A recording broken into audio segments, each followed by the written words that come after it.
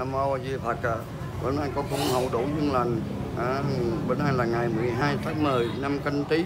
À, con có nhận được số tiền của cô Thọ Lê ở từ bên Mỹ gửi về à, để tặng thì con chẳng nói gì hơn con xin thật, cảm ơn cô Thọ Lê ở bên Mỹ được giàu giàu sức khỏe được vạn sự như ý à, à, cũng à, thành thật cảm ơn à, à, cô cậu Lê cũng có tấm lòng à, phát tâm thương xót. Những người không có như con à, người đuôi mù à, tàn tật cũng như con. À, mong cô cậu Lê cũng à, thương xót và à, gửi về. Con cũng không biết nói gì hơn. À, xin, à, chúc cho cô cậu Lê được giàu giàu sức khỏe được dạng sự như ý.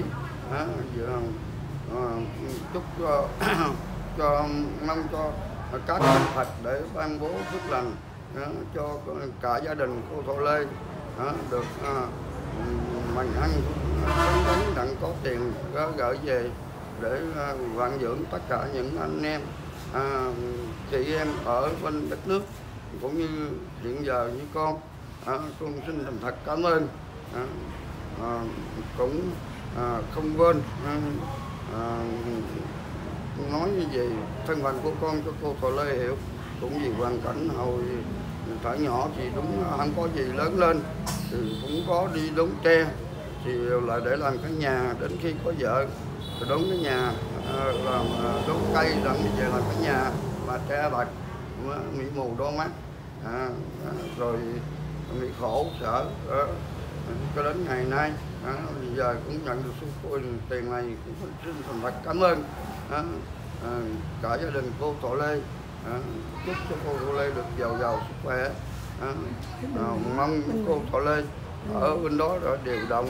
Và cả những cô, cô bác anh chị em bên kia có tấm lòng phát tâm. À, thương xót quê hương.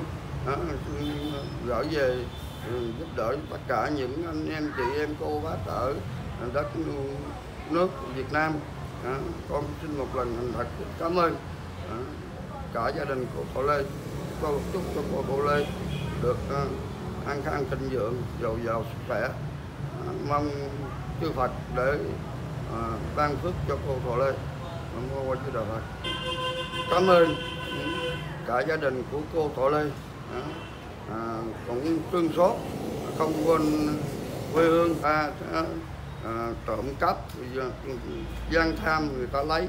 À, thành ra cũng khó mà ngăn à, nhờ cô để thương xót à, mà ủng hộ cho à, tụi con. Ừ.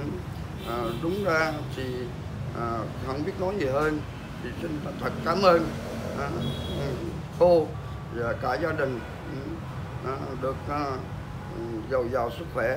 À, xin thành thật chúc cho cả thân quyến của cô được à, lành mạnh một an khang sinh dưỡng à, mong chư Phật để gia hộ cho cả gia đình. Mô di đà Phật.